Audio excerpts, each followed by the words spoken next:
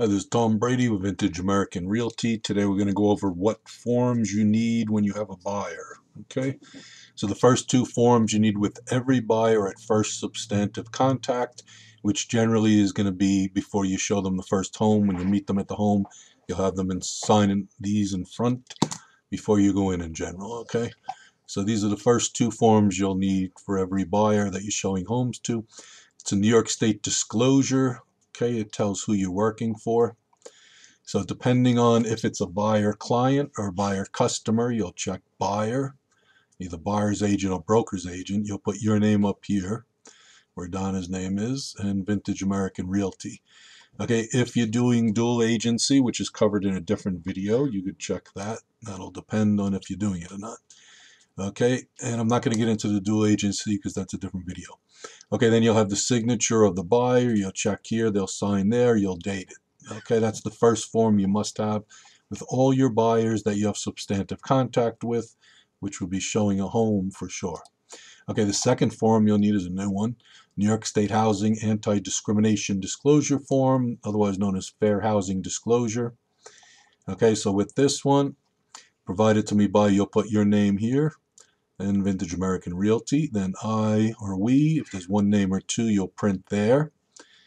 Then you can line out the ones that don't apply, have them sign, sign, date, date. Both of these forms you should have two copies of, one for them, one for you. Okay.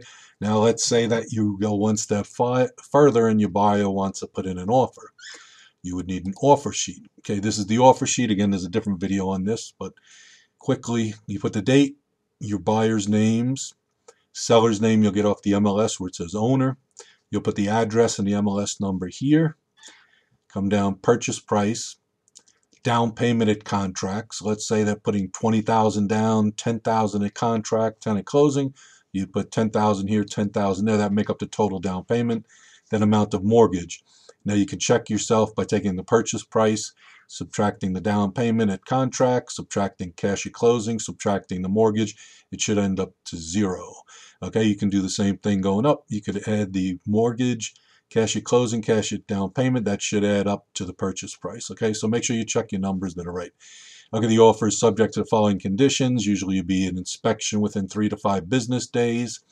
You would also, uh, if they have something to sell or any other contingencies, you'd put them here, okay? anything that the offer is contingent upon. Okay, the offer does not constitute a formal contract, not binding. A formal contract will be signed on or about. Generally, it's going to be 10 business days, or you could put ASAP. Closing date, about 60 days, or ASAP. If it's cash, you might want to put 30 days, even though it won't close in 30 days. Purchase price includes percent of commission, so you'll get this from the MLS listing. If you're a buyer or broker agent, see what they're paying to each and put that figure in there. Okay, you'll never have the purchaser sign, you'll never have the seller sign. Attorney for purchasers, attorney for sellers, self-explanatory. Selling agency will be Vintage American Realty. Selling agent will be yourself, your telephone number, your fax and email. Listing agency is the listing agency company, listing agent's name, their telephone, their fax, and email.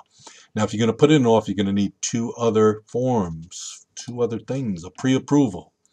Okay, so you're going to need a pre-approval to submit an offer, okay, and you're going to need a proof of funds, okay. So a proof of funds could be a checking account, bank account, uh, statement, stock statement, anything like that that shows that they have the funds to close between the mortgage and the proof of funds uh, you have to show that you can close the deal. Okay so those are the forms that you'll need with buyers. That should cover most of everything you will need for a buyer. Thank you.